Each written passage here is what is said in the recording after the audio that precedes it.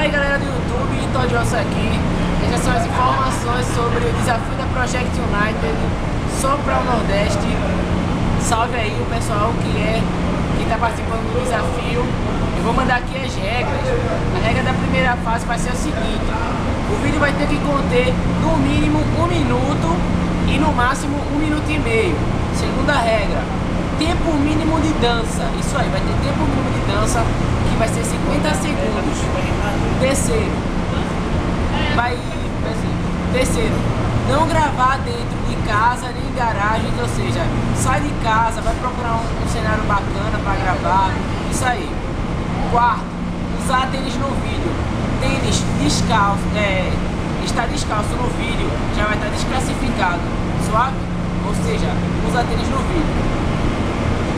É, quinto, gravar o vídeo de dia. A gente não quer que grave de noite, porque a baixa qualidade dá um, um rastro maior, ou seja, grave de dia porque vai ser melhor pra gente poder avaliar a sua dança. Peraí, peraí.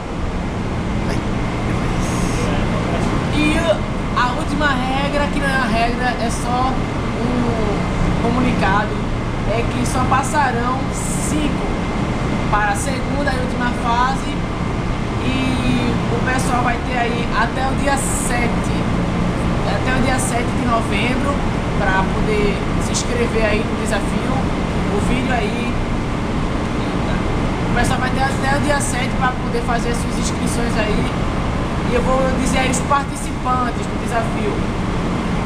Os participantes aí são do Ceará Lucas Gibbs e Tits da Paraíba Nael Araújo, da Imperius Vibe, Gamarques, da Electroway e Dandan, da Imperius Vibe. Do Piauí, Lara Silva.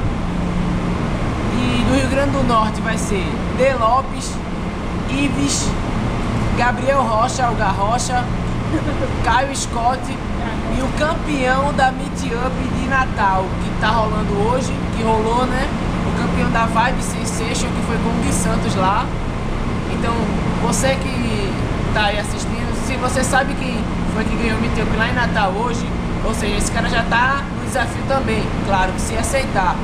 Então é isso aí, boa sorte a todos e as regras estão aí. Agora é com vocês, quero ver todo mundo aí, ó, metendo um louco para a segunda fase, hein?